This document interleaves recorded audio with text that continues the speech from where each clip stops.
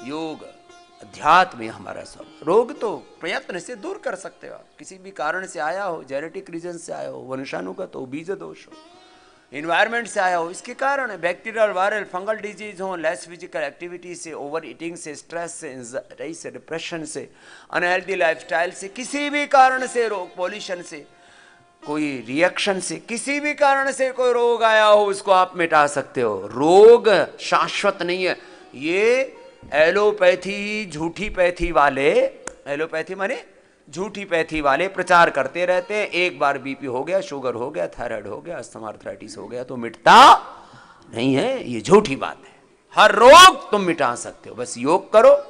योग, यज्ञ, आयुर्वेद नेचुरोपैथी पंच महाभूत चिकित्सा, पंचकर्म, षटकर्म और अलग अलग research and evidence based medicine तर्क, तथ्य, युक्ति, प्रमाण, अनुभूति के साथ हमको, आपको जो हम औषध, उपचार जो बताते हैं, उसको पूरा कर लो।